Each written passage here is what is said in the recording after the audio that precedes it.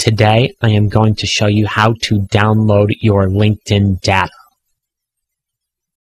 First off, you go into Me, which is basically your profile. Then you go into Settings and Privacy. And then you go down to get an archive of your data. And this will download all of your data, posts, connections, and other stuff. Click on that. And then there's an option of fast file or fast file plus other data. I I would recommend using the fast file request archive and for safety reasons it will ask for your password so I'm just going to type it in and then hit done and now it says we are preparing your data for download.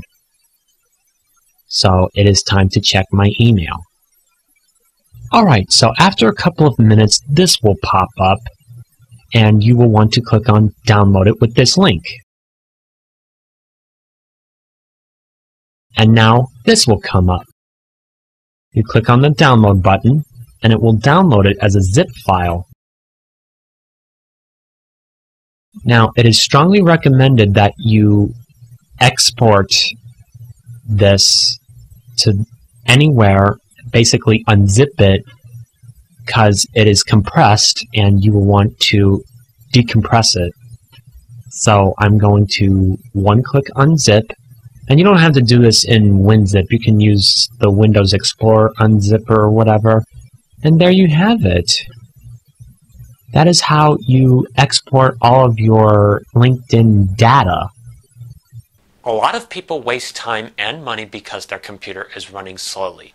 That's why I started Remote Tech Assistance. I like to help people who are aggravated by a slow computer that frustrates you and kills your productivity. Before you buy a bunch of programs or take your computer to the repair shop, how about trying this first? Download my 7 simple secrets to make your computer run faster. It's free, it's simple, and it's safe.